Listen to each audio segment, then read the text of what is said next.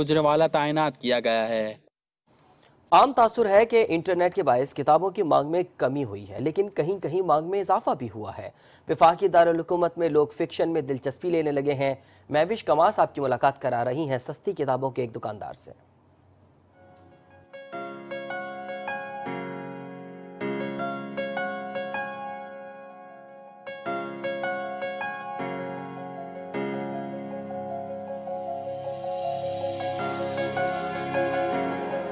میرا نام ہے فرید احمد عباسی اور میں یہاں پہ دس سال سے ہوں اور مجھے چونکہ بکس پڑھنے کا خود شوق تھا، اس لیے I decided to do a job over here یہ بڑا اچھا ایکسپیرینس ہے انٹرسٹنگ ہے اور بکس ہمارے پاس جو یہاں پہ ہیں، وہ اس میں ہر طرح کی بکس ہیں۔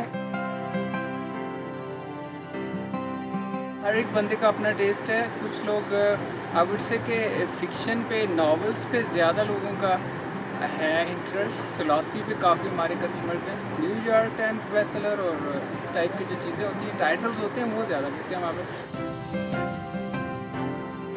ریڈرز کیا ہوتا ہے ریڈر ایک ایسا جو شخص ہوتا ہے جو کہ اپنے آپ کو نہ صرف ریڈنگ کے تھرو انہانس کرتا ہے اپنے آپ کو امپروو کرتا ہے سیلف امپروو کرتا ہے تو الٹیمیٹلی اس کو فیوچر لانگ رن میں ہیلپ کرتا ہے دونوں چیزیں ایک ساتھ ہیں۔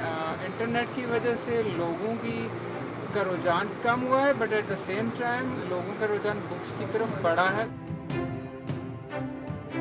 جو بندہ ریڈنگ کرتا ہے he is somebody who has is a noble heart noble nature تو آئی وڈ سے کہ بک سیلنگ میں تو آپ کو فائدہ ہی فائدہ ہے۔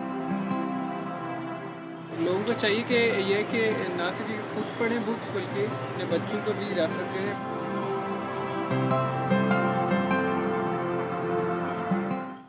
اب تک کے لیے اتنا ہی۔